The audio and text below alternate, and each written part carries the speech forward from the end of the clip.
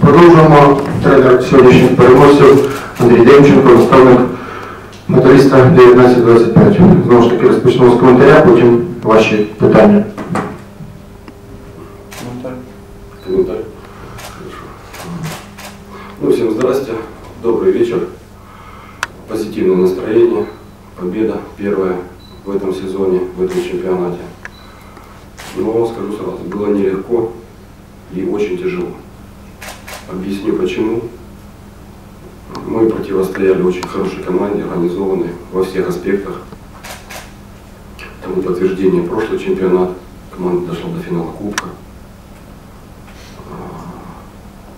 хорошо подготовились, разобрали команду, сильные стороны, слабые стороны.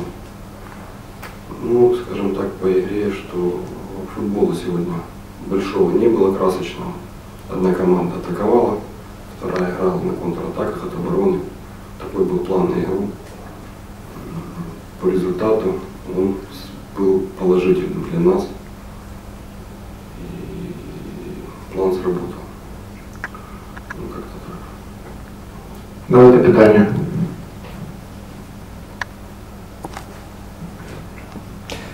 Скажіть, будь ласка, за перші 15 хвилин гри е, металіст 1925 сфолив один раз. На той момент е, суперник фолив вже 6 разів. Це була тренерська установка не фолити, не йти в в грубу гру. Ну, э, это игровые ситуации. Может быть, мы играли чуть-чуть корректнее, и соперник был больше на мяче. И Тактика мелкого фола присуща ингульцу, потому что они вступают э, сразу же после потери мяча, чтобы не бежать 70 метров домой. Это есть такая метода, есть такая тактика, тактика мелкого фола. То, что, то, что присуще Манчестер э, Сити для того, чтобы команда, которая владеет мячом, большее количество времени, большими силами атакует и проводит больше времени на половине поля соперника, тем самым оголяя зоны и пространство для быстрых контратак. Поэтому тактика мелкого фола, она вот по статистике получилась вот такая на первые 15 минут. Дякую. Дмитро. Е, Два запитання. Чи всі гравці виконали ваше тренерське завдання, установку? Потім друг, будь ласка, перше. Ну, естественно, хотелось бы ярче, красочнее сыграть, э, покачественнее вылетать в контратаку. Но не все получилось. Э, Пару атак было интересных. Э, Не хватало чуть-чуть уверенности. Объясню почему. Потому что команда только собралась. Э, Некоторые ребята только появились у нас накануне игры.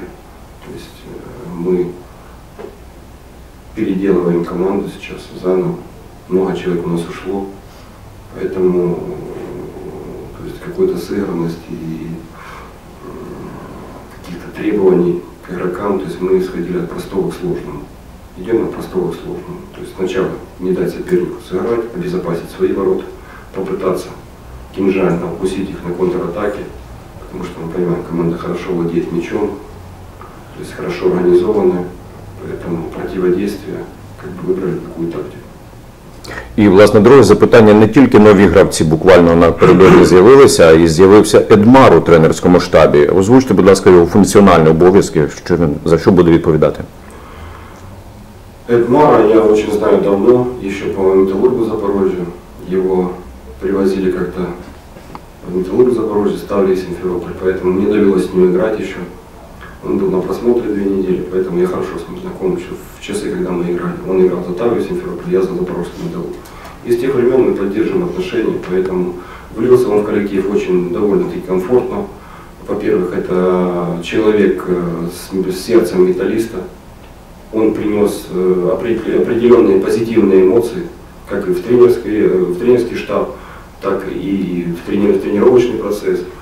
А, Поэтому я только очень доволен, что он помогает. И функция его заключается в том, что у нас есть на просмотре ряд бразильских футболистов.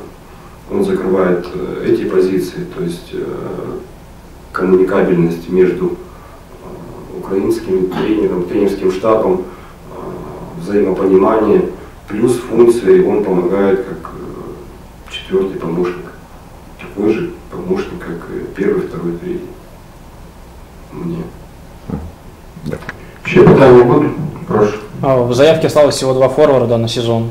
А Вы планируете усилять эту позицию? Да, у нас э, трансферное окно еще открыто, и поэтому мы активно э, занимаемся сейчас поиском этих позиций. Э, Они есть у нас на примете, ребята на- сейчас находятся в команде. Мы просто не успели их э, еще более детально изучить, но у нас есть время. Пока вот два форварда у нас в заявке. Но по ходу сезона вы еще увидите, э, по ходу э, трансферного окна вы еще увидите новые фамилии. Питання більше немає? Дякую всіх з перемогою. Дякую. Спасибо.